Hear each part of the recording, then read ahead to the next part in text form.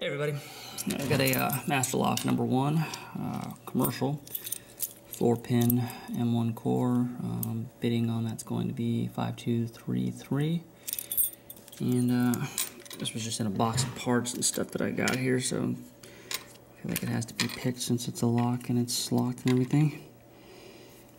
And gives me an opportunity to make uh, hopefully a quick video and just mention that I'm almost to a thousand subscribers and that's uh, YouTube's new magic number. So I would um, appreciate if you aren't subscribed to, uh, to subscribe. And if you are subscribed, thank you. It's uh,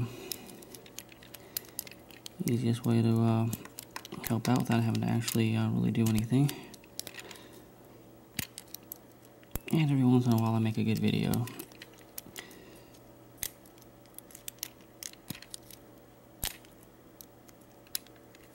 There we go uh, GoSo, got that guy open.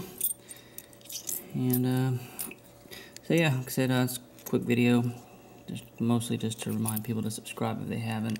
Um, that's what we need. And uh, once again, thank you. And uh, we'll talk to everybody later.